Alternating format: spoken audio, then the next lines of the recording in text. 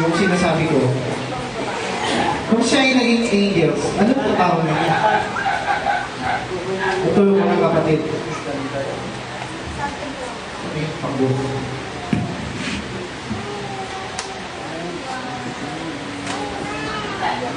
Ang galing ko na ito mga kapatid. Sana na ano nyo, pabilis lang yung sinabi ko. Doon pa lang sa mga meaning niya, malalaman nyo kung ano siya. The seven thunder, seven men, seven angels. Pinagtatalunan to sa buong mundo ng Ekan. At ito ay napaka-special na topic pagdating sa mga anti-message believer. Ewan ko doon sa mga denomination. Mga, ito na yung nangyari. Nung, nung sinugo, pansinin nyo kanina yung binigay ko dalawang klaseng parallelism. Sa Revelation chapter 5 at Revelation chapter 10, yung strong angel, rinibil niya yung seven spirits. Yung mighty angel sa Revelation 10, ano? Rinibil niya naman yung seven thunders. Pero pansinin nyo, bago niya, bago niya rinibil yan, may book dito sa, sa gitna. May, dito nandito yung book na sealed with seven seals. Dito naman yung book open. Open book.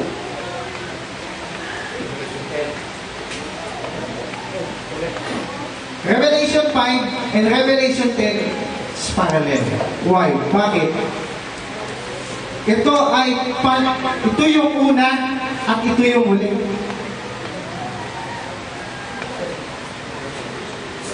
Ito yan mga kapatid. Dudrawing ko na. Ito yung seven church ages. Ilagay ko Ephes, Ephesians, Smyrna, Pergamo, Thyatira, Sardis, Philadelphia, Laodicea. Ngayon, sabi doon, specifically, Revelation chapter 6 verse 1, balik po sis.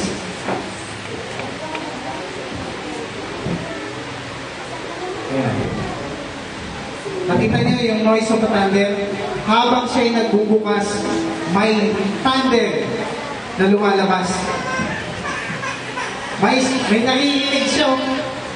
Pag may naririnig, may voice yan. Pag mayroon kang naririnig, hindi lang ito basta narinig mga kapatid. Yes. May nangyari. Ano nangyari? Come and see. Ano yung titignan? Ito yung white rose. Ngayon,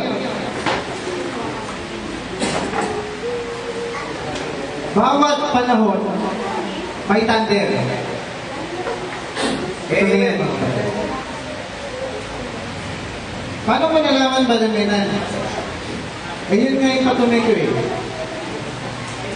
Bawat kapanahunan may thunder. Kung sa Old Testament may thunder, sa New Testament may thunder, sa Book of Revelation, sa, sa dulo ng panahon may thunder.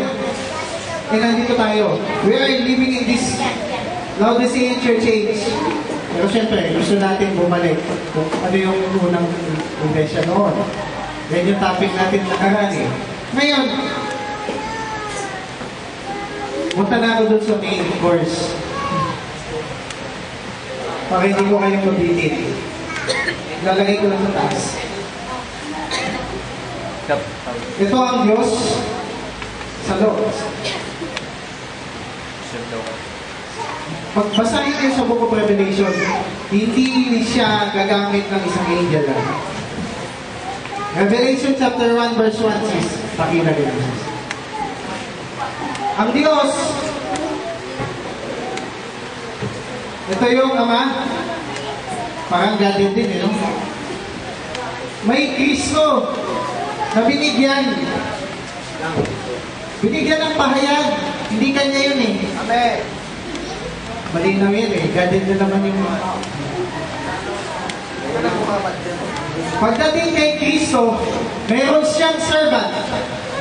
Sino yun? Yan. The mighty angel. Ano patunay mo ba nila Na Kristo panili, uh, representing Jesus Christ.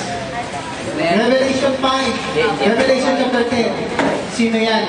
Hindi yan kapantay ng angel na pito.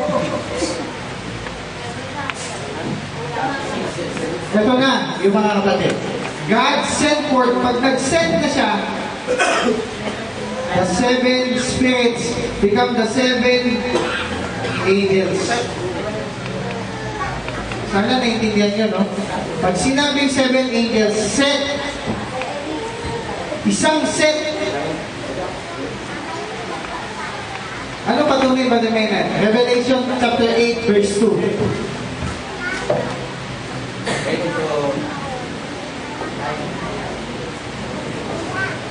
Pansinin niyo to, mga kapatid. And I saw that. The word that denotes to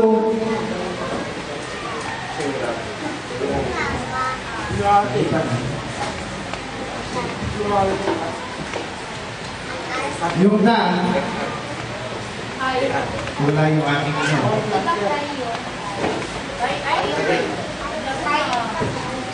Okay nga.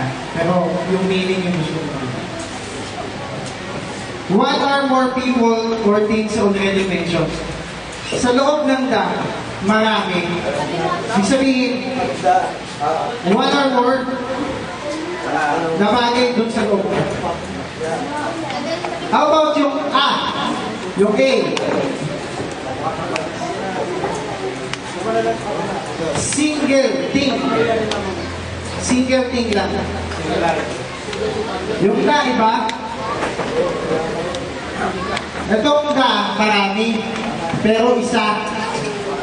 Ito, isa lang. Ito, one or more. Parang ubas, pag-arbetan, isa lang pero marami. Yes. Sunset. There. Okay. Punta na tayo dito. The mighty angel reveals the seven angels. Ito, binanggit ko na kanina. It's Revelation chapter 5 and Revelation chapter 10. Pwede, pwede. Sa Mahaba pa po ito eh. Father mo eh. Ngayon, nandun na tayo sa dulong panahon.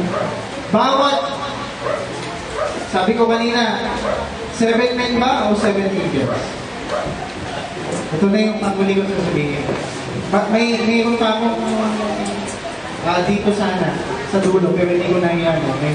Mamaya na lang po. Ito ay seven angels. Then, the seven angels anoint the seven messenger. Yes. At hindi lang seven messenger. Lahat tayo mga. Tumagos sa cellphone. Five ministry. Tumagos yan. Ngayon, sabi yung set, no? Yung ibig sabihin ng ah, angels, apostol din eh. Evangelist pa eh. Eh. Ah, evangelist din. Oo. So ngayon, the seven angels anoint the seven uh, men, seven messenger na tao.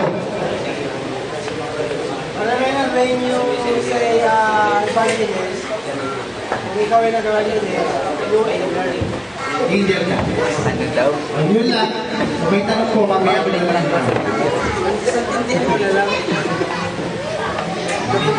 So, para naman Silipin ka sa lupa. sinabi ko, sabihin, medyo eh. Time